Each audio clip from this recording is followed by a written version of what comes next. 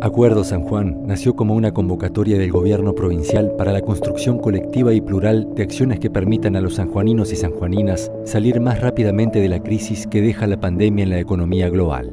El 13 de junio convoqué a los sanjuaninos todos a la realización de un acuerdo, que es el que estamos llevando a cabo con un impresionante y marcado éxito en la provincia de San Juan. Para el diseño de estas acciones se invitó a representantes de más de 70 sectores de la comunidad, quienes presentaron sus problemas y necesidades más urgentes, como así también las posibles soluciones. En mesas sectoriales e intersectoriales se avanzó hacia la definición de las acciones a corto plazo en cada área.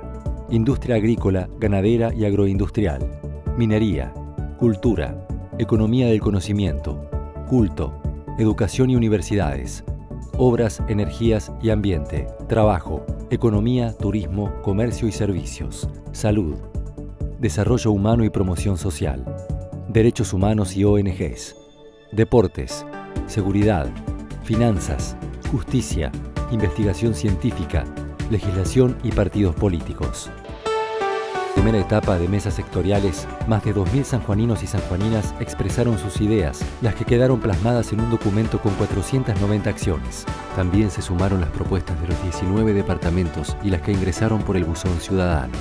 Acuerdo San Juan fue un extraordinario proceso de aprendizaje para funcionarios, empresarios, trabajadores, profesionales, científicos, judiciales, intendentes, periodistas, miembros de ONG y ciudadanos. Después de esta tarea de construcción colectiva y despojada de intereses particulares, se logró un conjunto de acciones que marcan un camino y que llevarán a la provincia hacia un nuevo desarrollo forjado con el trabajo de todos y con la mirada puesta en el bienestar de cada uno.